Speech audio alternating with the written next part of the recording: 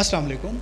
आज हम जिस टॉपिक के बारे में पढ़ेंगे, वो है इंट्रोडक्शन टू फिज़िक्स फ़िज़िक्स का इंट्रोडक्शन लेने से पहले मैं आपके साथ कुछ इसका बैकग्राउंड शेयर करना चाहूँगा, जिसमें हम बात करेंगे the three main frontiers of fundamental physics fundamental science three main frontiers of जिसके ऊपर तमाम साइंस जो है वो बेस कर रही है। फंडामेंटल साइंस उनके बारे में हम स्टडी करेंगे। फ़र्स्ट ऑफ़ ऑल उसमें आ जाता है जो फ़र्स्ट फ्रंटियर है उनका साइंस का, वो है the world of extremely large things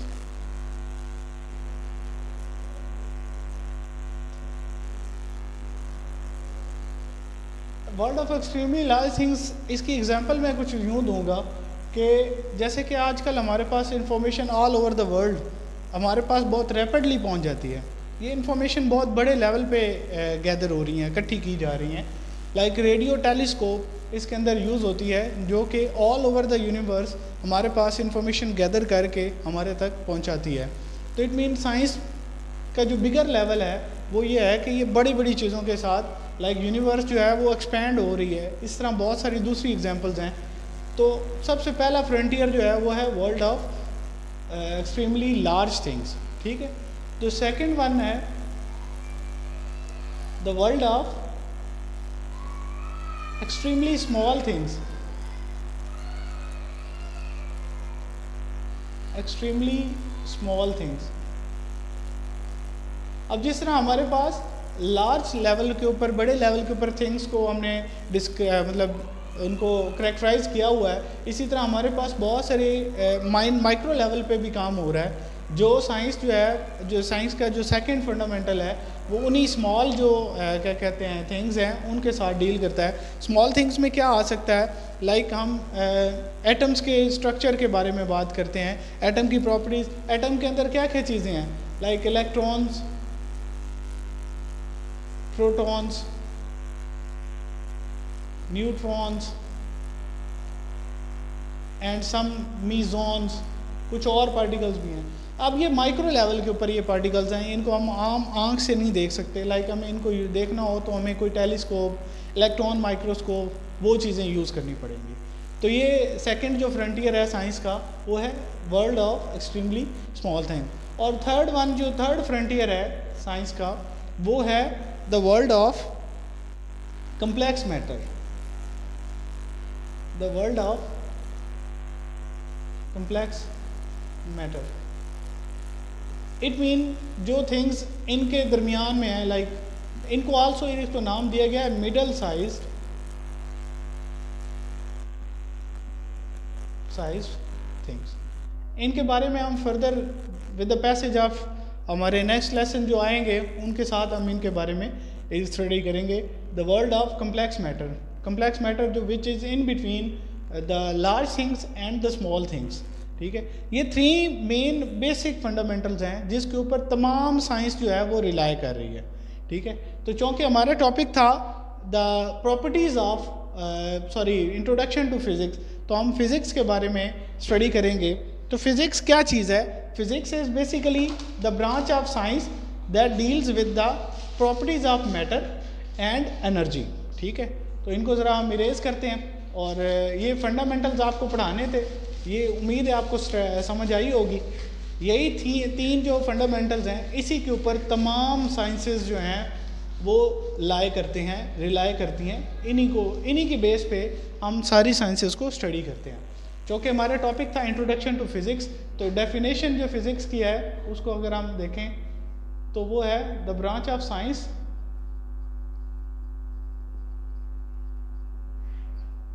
science that deals with the, deals with the matter and energy. And their relationship also. कि ये आपस में कैसे आपस में रिलेट करती हैं? As we all know that everything is composed of matter तो इसका मतलब है कि पहले सबसे पहले हमें मैटर को स्टडी करना है। तो जो मैटर को सबसे ज़्यादा डीपली स्टडी करती है, जो ब्रांच साइंस की सबसे ज़्यादा डीपली स्टडी करती है, उसका नाम है फिज़िक्स और इसके अलावा अगर मैटर है एनर्जी उसमें कोई एनर्जी है या डिफरेंट टाइप्स की एनर्जी हैं तो मैटर और एनर्जी ये दो मेन फंडामेंटल्स हैं साइंस के। अगर आपने किसी भी साइंस को स्टडी करना है तो उसमें सबसे पहले मैटर और एनर्जी आ जाती है। क्योंकि everything is made of matter हर चीज़ मैटर की बनी हुई है। तो इसका मतलब है कि इसकी अगर डेफिनेशन को समझा जाए तो साइंस की वो ब्रांच जो मैटर और एनर्जी इनको स्टडी करती है, और आल्सो ये आपस में कैसे इंटरेक्ट करते हैं, इनके आपस में इंटरेक्शन क्या है उसको भी और इंट्रैक्शन होने के बाद इनके क्या इनके अंदर चेंजेस आती हैं कौन कौन से नए प्रोसेस अक्कर होते हैं, वो आ जाते हैं इनके रिलेशनशिप में। तो branch of science that deal with the matter and energy and their relationship is known as physics अब फिज़िक्स जो है, ये आगे फर्दर इसकी आगे एरियाज़ हैं डिफरेंट एरियाज़ हैं, जिसमें से चंद एक मैं यहाँ पे आपके साथ शेयर करूँगा, जिसमें पहला एरिया मैं शेयर करूँगा, वो है मैकेनिक्स दिस ब्रांच इज़ ये this is the branch of physics not science this is the branch of physics that deals with the motion of objects like जो मूविंग ऑब्जेक्ट्स हैं, उनकी जो मोशन है, उनके साथ इस ब्रांच का मतलब ये रिलेट करती है, ये स्पेसिफिक ब्रांच है that deals with the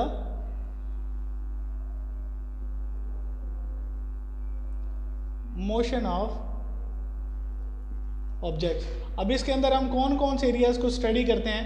As we all know we are familiar with the Newton's law that deals that also related with the motion of objects तो इट इटका इसका मतलब है कि न्यूटन्स लॉ भी मैकेनिक्स के अंदर पाए जाते हैं। मैकेनिक्स जो ब्रांच है फिज़िक्स की, इसके अंदर होते हैं। नेक्स्ट है, जो मैं बताऊँगा आपको हीट एंड थर्मोडाइनमिक्स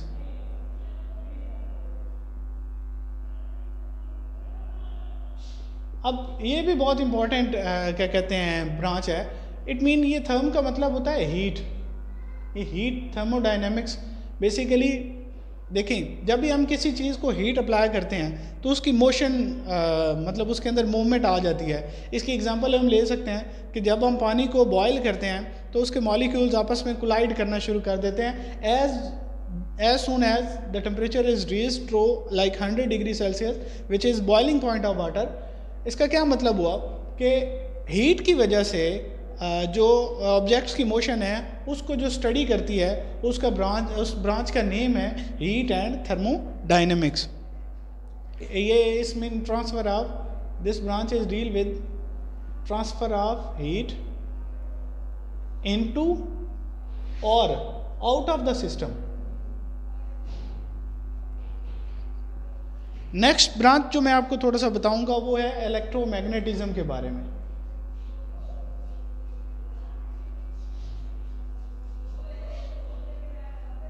ये इलेक्ट्रिसिटी एक इलेक्ट्रिक फ़ील्ड के बारे में एक ब्रांच है जो इलेक्ट्रिसिटी उसके साथ डील करती है। इलेक्ट्रोमैग्नेटिज्म लाइक इलेक्ट्रिक चार्जेस की वजह से अगर उसके अंदर किसी जगह पे मैग्नेटिक इफ़ेक्ट प्रोड्यूस हो जाता है तो वो ब्रांच जो उस मैग्नेटिक इफ़ेक्ट के साथ डील करती है उसका नाम हमने दिया हुआ है electromagnetism that deal with the और वो किस वजह से फ़ील्ड क्रिएट होता है, वो कोई ना कोई मैग्नेटिक फोर्स प्रोड्यूस होती है, उसकी वजह से। Deals with the, this branch deal with the electromagnetic force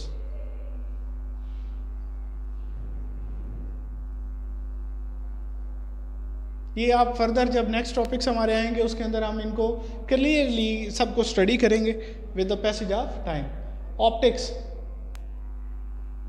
optics like glass शीशा उससे रिलेटेड है। इसके अंदर ये है कि लाइट जब है, वो आप देखेंगे रिफ्लेक्शन रेयरफेक्शन और रिफ्रैक्शन टोटल इंटरनल रिफ्लेक्शन वो तमाम चीज़ें इस ऑप्टिक्स के अंदर डिस्कस होती हैं। The branch of science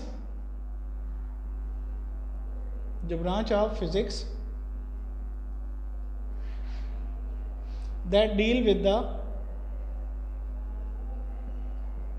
properties of light is called optics. ये बहुत मेजर इंपॉर्टेंट रोल प्ले करती है। ये जितने मैंने आपको अभी पढ़ाए हैं ना, ये जितने चार, पाँच टॉपिक्स मैंने अभी आपको पढ़ाए हैं ये डिफरेंट फील्ड्स हैं फिज़िक्स की। आगे आप इसमें डिफरेंट टाइप की स्टडी कर सकते हैं। ये चारों अभी जो पढ़ाई हैं, ये चारों अपने मुख्तलिफ़ फीचर्स रखती हैं। नेक्स्ट है atomic physics